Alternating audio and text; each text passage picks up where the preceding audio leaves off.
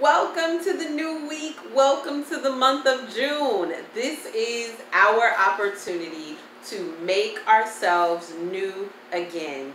This is our opportunity to step into the fullness and the wholeness of who we are as strong, confident, and abundant women. I want you to look around your space today. Observe where you are. See all of the goodness around you. Now, I know you might be saying, Quadeera, have you lost your mind? Do you not see everything that's going on around you? Yes, I do see everything that's going on around us. But what I also know is that you are still alive. You still have the ability to listen and watch the words that are coming out of my mouth. So, therefore, there is still opportunity and hope for you. There is still an opportunity for you to start new again. Last week I made a post that said, This is your day to dream a new dream for you, for your family, and for the entire world and community around you. Your energy is contagious. What you think about, the world thinks about. What you dream about, the world dreams about. What you pray about, the world is longing for. So allow your energy, your light, your love to be contagious today.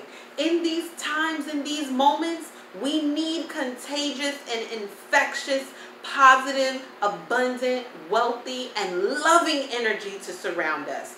Don't let the circumstances that we see around us consume you. This is your opportunity to bring light and peace and calm and joy to the world, to the situation, to the circumstances that we're facing right now.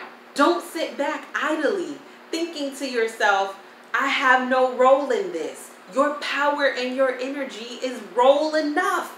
You got the power to step up and step into the space of wholeness and shift the energy and the consciousness that we see present in the world right now. So that's what I came to share with you this morning. This is your opportunity. June 1st is here. Any day you can do this, but I know a lot of people like to do these types of things on the first day of the week or the first day of the month. So dream a new dream for yourself. Dream a new dream for your family. Dream a new dream for your community. Dream a new dream for the world.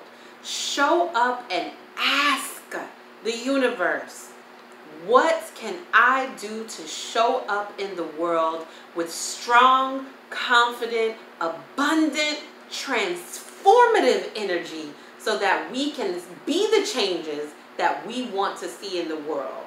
And remember, the power that you want to see invoked in the world starts within you.